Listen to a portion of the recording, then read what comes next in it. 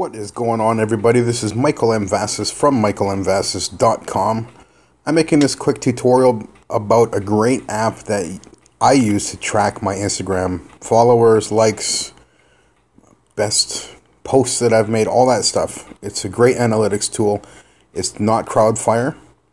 I know that's sort of the go to app that everybody goes to, but I personally like InstaFollow. So I'm going to go into this just to give you a little bit of a rundown and refresh it here.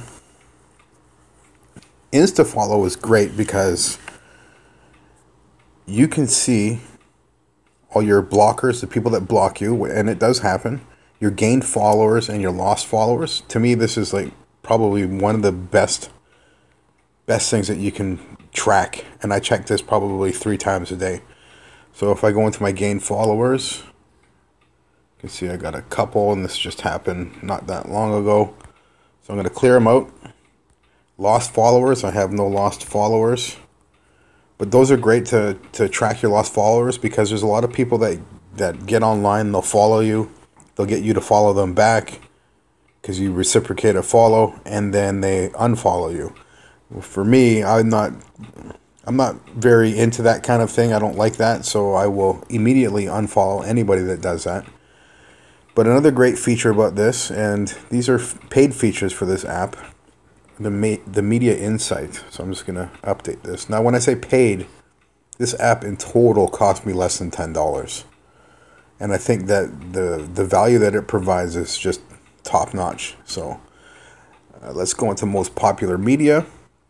You can you can see the the reason why this is so good is you can look at your most popular media. You can look at the hashtags you used what your message was, what the picture was, and, and try and replicate that once in a while. You know, change things up.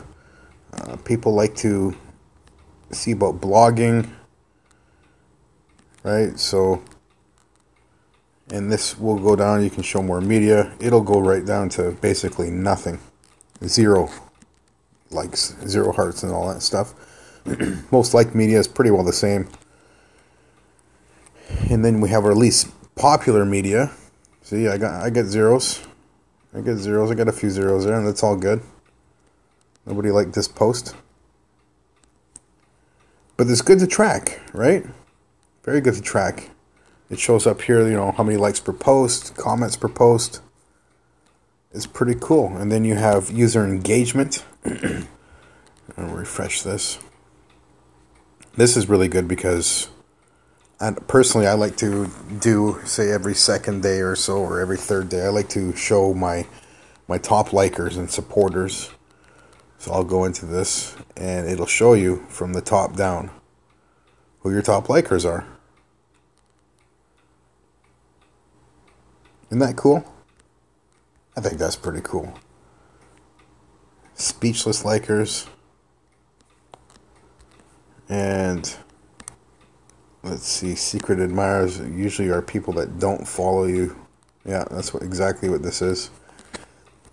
So this gets it, it shows you all that great great information, user insight. Okay. So just an excellent app. Excellent app for keeping track of everything. Just to refresh that one more time.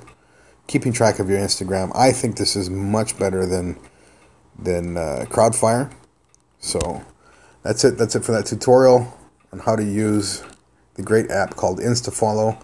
I'm Michael M. Vasas from michaelmvasas.com, and you have yourselves a great day and be great.